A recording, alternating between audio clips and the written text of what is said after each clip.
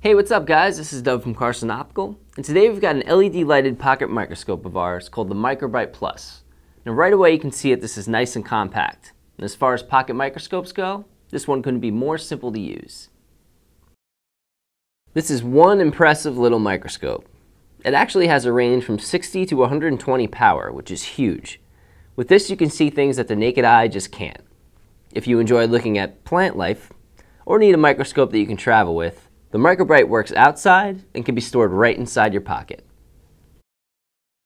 You got this little knob here at the top that slides back and forth and is used for changing magnification. Below that we have a nice wide focus adjustment wheel which wraps around the body and is really good to give you that extra control when focusing. So pocket microscopes.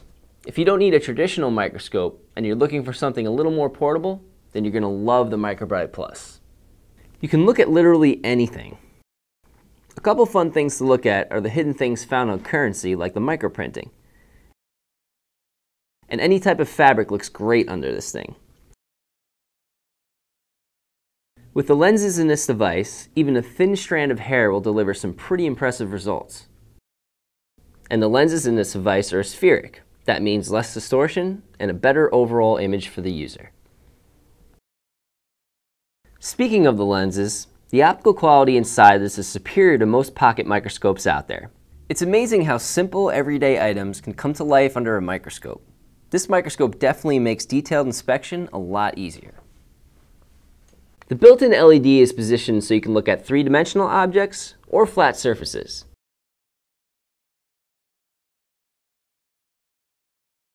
So if you're new to using microscopes in general, pocket microscopes are a great way to start. So why not use one that's accurate, precise, and fun to use? I'm Doug from Carson, and I'll see you next time.